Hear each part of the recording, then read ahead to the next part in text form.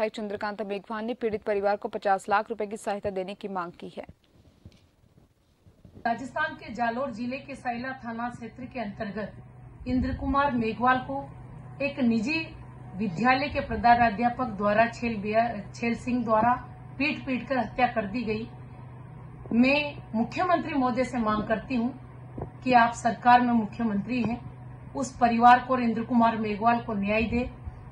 और राजस्थान में कड़ा कानून बनाए 50 लाख रुपए की आर्थिक सहायता दी जाए और उस परिवार में एक व्यक्ति को सरकारी नौकरी दी जाए, वरना हम आंदोलनरत हैं।